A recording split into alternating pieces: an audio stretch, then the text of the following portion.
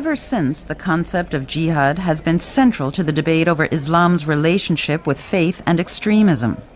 Sheikh ul Qadri also gives thought to jihad and points out that apart from its historical call to war, it also has a totally different spiritual meaning. The same word has been used.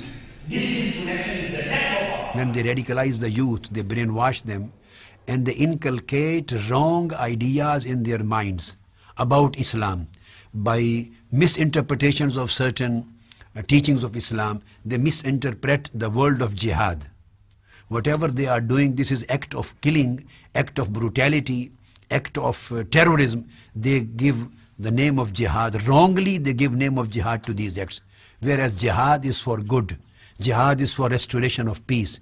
Jihad is to struggle for spreading knowledge. Jihad is struggle for your, to remove the evil of your inner self. Jihad is to struggle for act of charity. Jihad is to bring the peace. Jihad is to fight against militancy, against terrorism and against killing of mankind. Jihad is something totally different. To bring 15 to 20 Sheikh ul Qadri is revered as a spiritual leader. But while he is acclaimed by his supporters, he himself and his family live under police protection.